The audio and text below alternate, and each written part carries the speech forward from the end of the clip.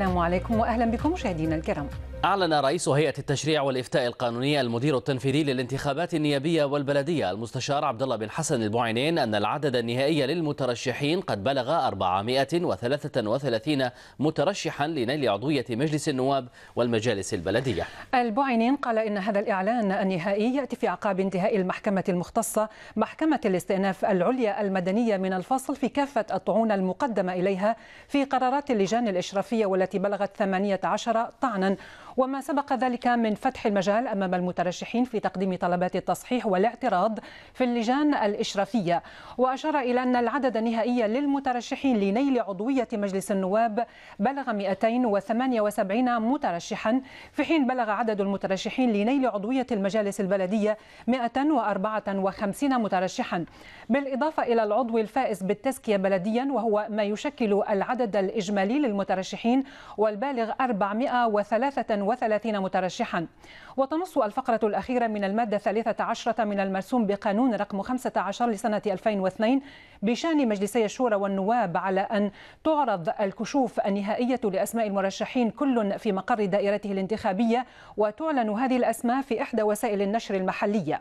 وكان البعينين أعلن منتصف أكتوبر الماضي القائمة الأولية للمترشحين والتي بلغت 493 شخصا ممن تقدموا بطلبات ترشحهم إلى اللجان الإشرافية لنيل عضوية مجلس النواب والمجالس البلدية منها 322 طلب ترشح لعضوية مجلس النواب. في حين بلغ عدد طلبات الترشح لعضوية المجالس البلدية 171 طلب ترشح. حول الوضع الانتخابي معنا عبر الهاتف الكاتب الصحفي صلاح الجودر لإلقاء نظرة على تطورات المشهد السياسي. مساء الخير أستاذ. بداية كمراقب للمشهد السياسي ما هي قراءتك لهذا الزخم في عدد المترشحين للانتخابات النيابية والبلدية؟ بسم الله الرحمن الرحيم. طبعا أعتقد أن هذه التجربة الرابعة من عمر الاستحقاق الانتخابي. بدينا في سنة 2002 العمل العمل أو الانتخابات بشكل عام هي قفزات كبيرة. يعني وإن كانت طبعا السنة كان عندنا إحنا تحدي كبير في في قضية المشاركة، أنا أعتقد أن العدد الكبير اللي دخلوا في في الاستحقاق الانتخابي يؤكد على قوة الانتخابات القادمة. بخلاف ما كان يطرح في السابق أن هناك لربما يكون في نوع من المقاطعة، أنا أعتقد يتبشر بخير هذه الحصيلة اللي أعلن عنها الدار الانتخابية أو أو الإشرافي على إن 433 على المستوى النيابي أو حتى البلدي. أنا أعتقد بندخل في مرحلة واستحقاق انتخابي جديد. يؤكد ان أن الشعب البحريني بكافة مشاربه وتوجهاته يؤكد على التمسك بالحق الدستوري وهو حق يكفله الدستور حق كل المترشحين نعم. كذلك إن هي تؤكد أن البحرين تسير بنهج مختلف عن كل دول المنطقة عموما اللي اختارت النهج الديمقراطي في المشاركة وهذه هذه هذه مكسب كبير لكل كل من من يتابع الشأن السياسي في في منطقة الخليج اليوم يجد حقيقة أن أن الشعب البحريني مصر على على النهج الديمقراطي مصر كذلك على على التعاطي السلمي في صنع القرار. نعم طيب أستاذ صلاح يعني بالنظر إلى العدد الكبير للمترشحين لهذه الانتخابات 433 مترشح هل بالضروره أن يستتبع هذا العدد زيادة أيضا في نسبة عدد المصوتين يوم الاقتراع؟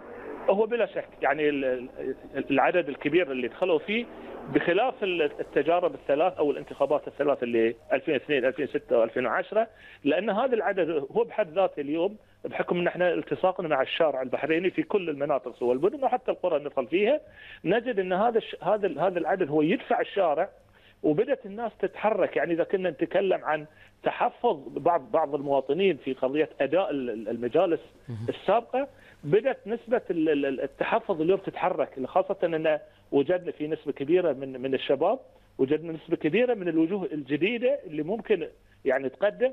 بالإضافة إن في في في قراءتنا حق الساحة اليوم وجدنا التحدي الكبير من المرأة البحرينية باختلاف توجهاتها أو حتى حتى التخصصات يعني هل هل هل نستطيع أن نقول أن هناك تغير في واقع الوعي الانتخابي لدى المواطن؟